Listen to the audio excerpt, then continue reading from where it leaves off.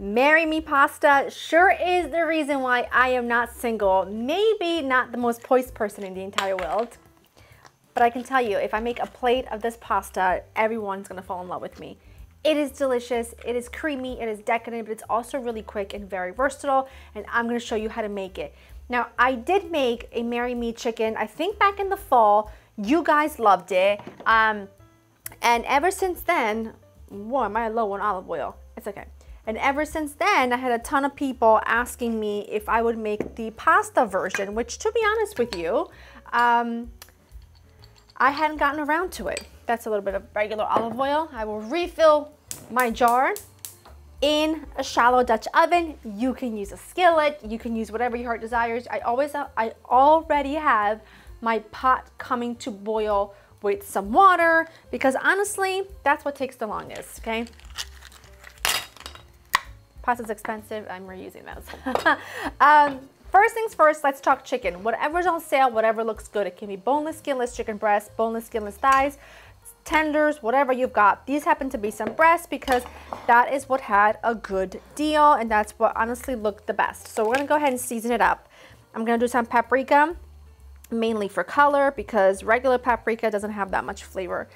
It's just about color, some garlic and herb seasoning. We're just gonna hit it with some goodness. Coat that real good. And then I am gonna add a little bit, poco, of chicken bouillon powder. What that does is it acts as your salt and it just gives you a boost of flavor and it just makes the chicken, dare I say, taste more chickeny, but like in a good way. Do you know what I mean? Like in a more savory way. Mix those around.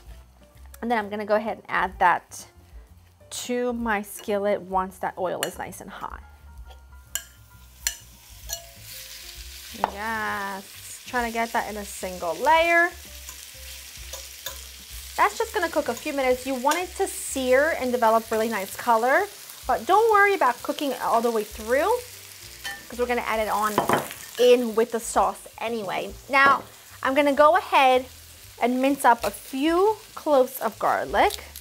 And then the recipe, any Marry Me chicken recipe you'll find doesn't call for fresh tomatoes, only sun-dried tomatoes.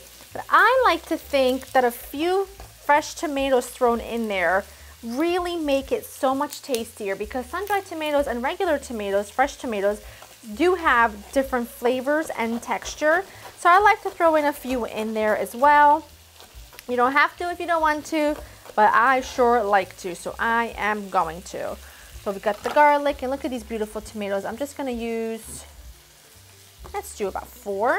And they're sort of a hybrid between a cherry tomato and like a vine ripe tomato, you know, size-wise and flavor-wise. And if I had to describe what this tastes like, it's kind of like combining chicken alfredo with a little bit of a blush sauce. Something like that. It's delicious. People love it. You can make it with out of season tomatoes by just using some sun-dried tomatoes and then you can make this all year long despite of how beautiful and bright it looks. Chicken looks great. I'm just to take it out because at this point it's developed great flavor. Look how gorgeous it looks. It's not fully cooked through yet, so don't nibble on it. Just set it aside. It already smells gorgeous. It already looks gorgeous. I cannot wait. Another drizzle of olive oil. You could also do a dab of butter if you want. And to that, I'm to go ahead and add my garlic, my fresh tomatoes. And just a little kiss of some basil. Makes it taste so good. Makes it smell so good. Pinch of hot pepper flakes for some spice. Where's my spoon? That smells amazing already. Gorgeous. I'm gonna go ahead and add a mixture of cream and chicken stock, or for me, it's cream and water, and then I'm just gonna add a pinch of my chicken stock powder, my bouillon powder. Give that a little stir. Now listen, don't come for me because I know this is not an authentic Italian recipe, okay? My nonna does not know how to reach YouTube by herself, so I'll just make sure that whoever allows her to watch my videos skips over this one, okay? and then we're gonna add a pinch of Italian seasoning, but you know, it's delicious. And you guys love it, and you've been asking me for it, so why not? And then we're gonna add some sun-dried tomatoes. I like using sun-dried tomatoes that are sitting in oil, not a marinade, but in oil. Usually it's oil and some spices like oregano, um, Italian spices, things like that. I don't like the ones that are like vacuum sealed and dry packed because I feel like the texture is just never right and you can never get the texture to be what it should be. So I'm just gonna add some of that in there. And I'm just gonna go ahead and bring this to a simmer. And once it's at a simmer, it'll start reducing. Drop your pasta in. I'm using rigatoni.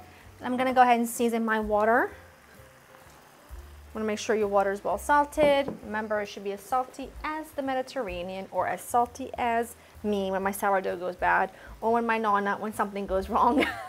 Regardless. My sauce is reducing. Smells good.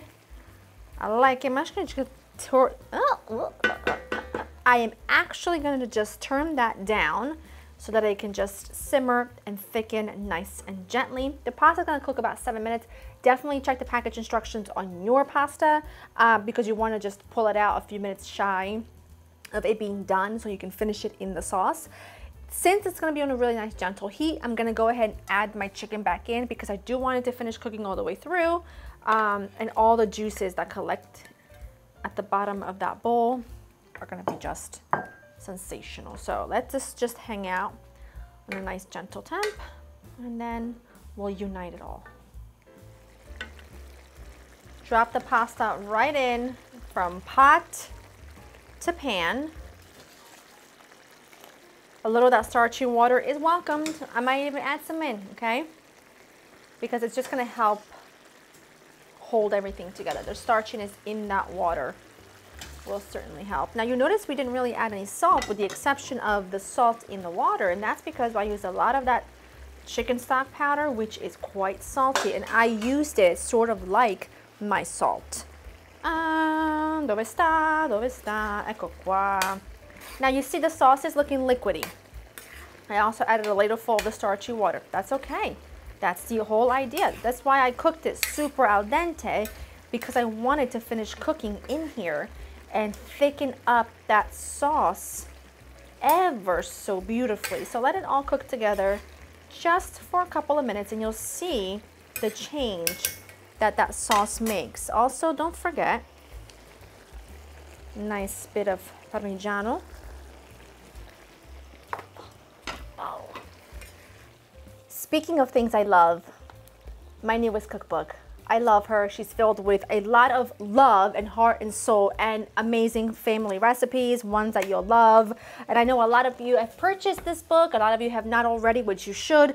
But I figured today, how about I email, no, I will not email you. How about I mail one of you a signed copy of my book as like a little giveaway, thank you, love you from me to you all you have to do, I'm not going to ask you to tag your mother's friends, dentist, cousins, boyfriends, cousins, eh, eh, ex-girlfriend. I'm not going to ask you to do any of that.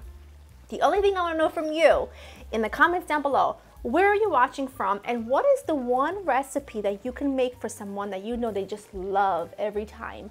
That one recipe that you just know no matter what is to go down well. And maybe a recipe that you made for the special someone in your life um, that sort of you fell in love with over the food. So let me know what that recipe is below and I will pick a winner and I will contact you and I will send you um, a signed copy of my Italian table. Adding some more basil. I turned it off and look at this. As it sits, it will thicken, but this is this is what I like. This texture of that slurpy cream sauce. Like I said, Alfredo-ish. Think that kind of luxe. It's making my mouth water, and if I don't have a bite of this right now, I, I, I don't know if I can handle it.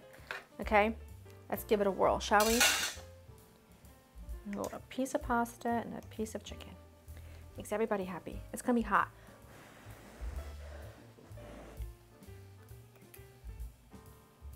Mmm. Hot. Chicken's tender, Pasta's al dente. The sauce is like luscious and glorious and I just want to drink it. It's so good. And, mmm, mmm.